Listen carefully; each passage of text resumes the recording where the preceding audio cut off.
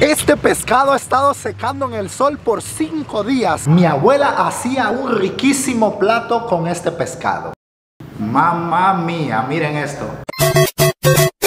Hacer que bola, ¿cómo estás? Espero que te encuentres increíble. Lo que recuerdo con más cariño de mi infancia es sin lugar a duda lo que me enseñaron mis abuelos. Todos debemos contar con una persona que sepa bendecirnos, incluso en los momentos peores. Para mí esa persona siempre ha sido mi abuela Emelina. Ya son casi 15 años desde que murió y la sigo extrañando. Ella cocinaba e invitaba a toda la familia. Nos unía siempre y nunca nadie podía faltar a la comida de la abuela. ¿Cómo que no quieres otro plato, hijito? Si es que no has comido nada. Así decía la abuela. Su comida era tan buena que era imposible no pedir otro. Siempre la vi colgar un pescado al sol y aún me acuerdo de ese sazón. Gracias abuela Mientras has vivido siempre te has preocupado de que nunca me falte una sonrisa. Ahora que ya no estás, seguiré sonriendo para hacerte feliz. Si has llegado hasta aquí no te vayas porque esto recién comienza. El ingrediente principal de esta receta es un buen pescado. Ahora pausa el video y haz tus apuntes. Después de haber dejado el pescado en el sol por un par de días, vamos a cocinarlo en el agua caliente unos minutitos. Añadimos laurel, orégano y limón. Lo vas a dejar hervir unos 5 minutos. Una vez transcurrido el tiempo lo vas a sacar y vas a comenzar a desmenuzar el pescadito.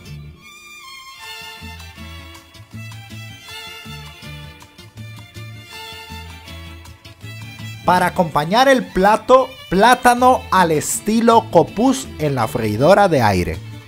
Avanzamos con la cebolla llorona. Pelamos los ajos con mucho amor y cortamos en trocitos el pimiento y el tomate. Ya tenemos todo listo para nuestro rico sofrito.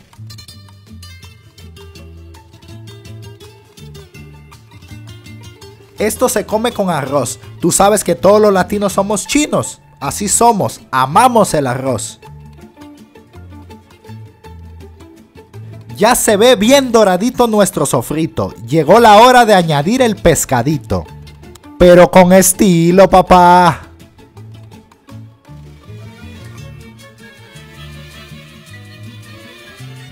¿Has escuchado alguna vez que todo con vino sabe mejor? Eso es justamente lo que vamos a hacer nosotros. No tienes idea del olorcito, papá. Ya no falta mucho para comer, el arroz ya mismo está.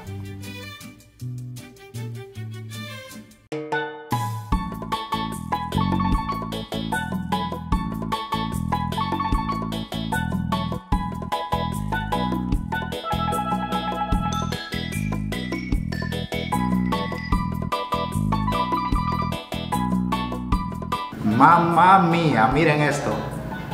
Es una maravilla. Hmm.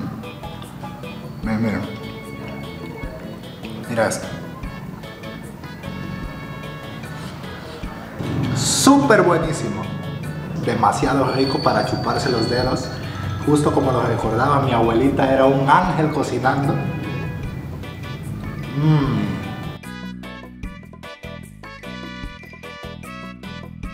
La comida ha estado un mil de diez. Mi abuelita, te amo.